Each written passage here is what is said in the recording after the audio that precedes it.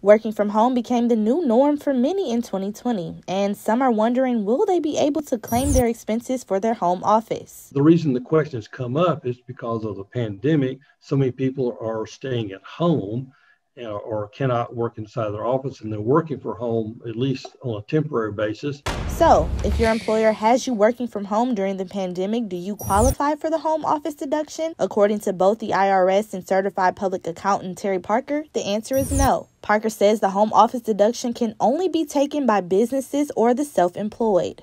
This is their office and they work out of this office. They they meet their clients or patients, their business contacts all are done in this office, uh, not at another location. And of course, you've got to have an area which is exclusively for the business. The IRS says there are two basic requirements for the taxpayer's home to qualify as a deduction.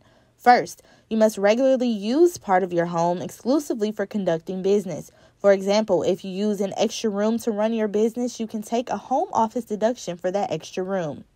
And you must show that you use your home as your principal place of business. If you conduct business at a location outside of your home, but also use your home substantially and regularly to conduct business, you may qualify for a home office deduction.